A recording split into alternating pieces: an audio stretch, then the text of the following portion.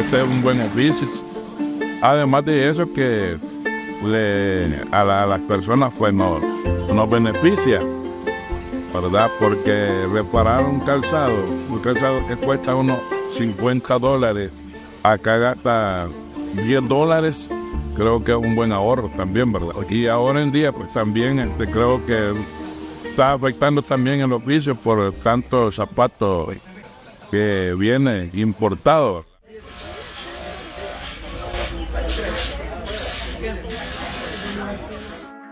En este caso que nosotros estamos acá ubicados, quizás hay muchas personas que no saben que estamos acá, ¿verdad? Y, y algunas pues tienen a mejor botar sus calzados porque creen que ya no, ya no tienen reparación, pero aquí nosotros reparamos de toda clase de zapatos, toda clase de hombres, de mujeres, de niños, sintéticos, de cuero, todo, toda clase de, de calzado nosotros acá la reparamos. Si nosotros estábamos, estábamos en la acera, estábamos en la acera, enfrente en la Costacia. Y aquí en la, en la, digamos, en la, en la época que tuvo Norma Quijano, él nos dejó aquí.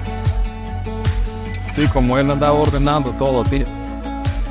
Ya no quiso que estuviéramos en la acera nosotros y nos dejó este local aquí.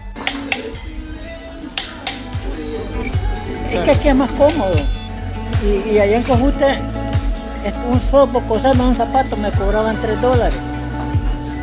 Y, y el, el muchacho que me lo ha cosido, unos 50 mil yo le ido 2 dólares, porque en verdad, pues, se lo ha ganado, pues.